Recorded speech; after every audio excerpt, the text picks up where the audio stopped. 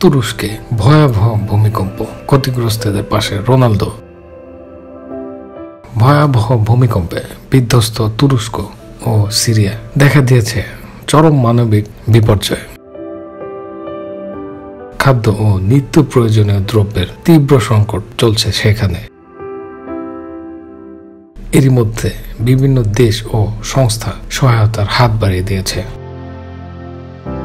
এবার ক্ষতিগ্রস্তদের পাশে দাঁড়ানোর সিদ্ধান্ত নিলেন Portuguese winger Cristiano Ronaldo. British সংবাদ মাধ্যম দ্য সান জানিয়েছে, রোনালদোর স্বাক্ষরিত জার্সি নিলামে তুলে সেই অর্থ ক্ষতিগ্রস্তদের সাহায্যার্থে ব্যয় করা হবে। সে জার্সিটি রোনালদোর বর্তমান ক্লাব আল নাসরের নয়, সাবেক ক্লাব জুভেন্টাসের।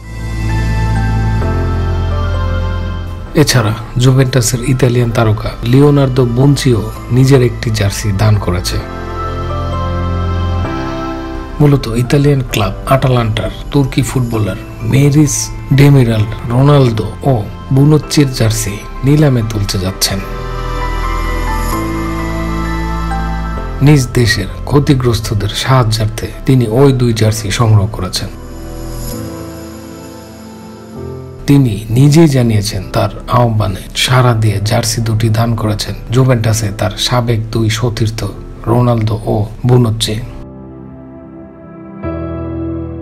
নিলাম থেকে প্রাপ্ত সকল অর্থ ভূমিকম্পে ক্ষতিগ্রস্তদের সহায়তা দান করা হবে।